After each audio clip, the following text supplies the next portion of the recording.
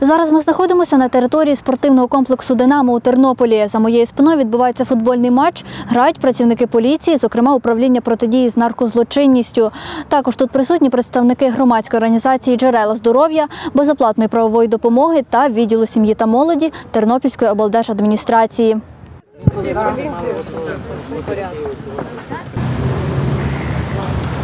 Спільний матч грають працівники поліції, наркозалежні та представники реабілітаційного центру Твоя незалежність. Ми в цей день вирішили провести такий товариський футбольний матч між нашими працівниками нашої служби і з е, людьми, які проходили реабілітацію в відповідних установах. Тобто вони були раніше наркоманами, про- пройшли реабілітацію і відмовилися від свого колишнього життя. Гра вийшла рівно. Спочатку ми впевнено вигравали, але потім вони перехопили ініціативу і в результаті по серії пенальті вони вибороли перемогу.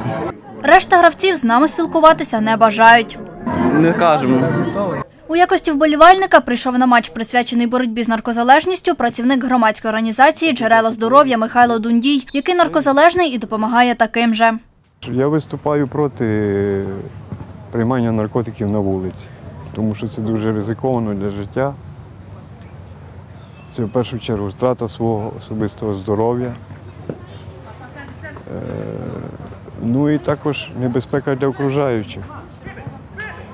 Я недавно працюю в цій організації і підтримую її цілком, і бачу, що дійсно організація працює і допомагає наркозалежним.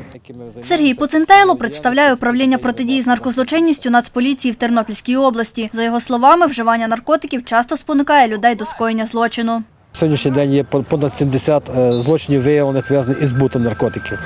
Більше- початку року, від початку року. в Більше, області. більше 130 е, злочинів пов'язаних із незаконним зберіганням. Е, Є 4 чи 5 злочинів пов'язаних із ут- утриманням прим- приміщень для виготовлення наркотиків. Три факти е, втягування в наркоманію. Один злочин пов'язаний з використанням коштів збутих від незаконного обігу наркотиків. Одна нарколабораторія. Е, 10 злочинів пов'язаних з з витоком у незаконний обіг підконтрольних речовин. У цьому матчі перемогла дружба. Учасникам вручили грамоти. Марта Журавель, Андрій Прокопів. Новини.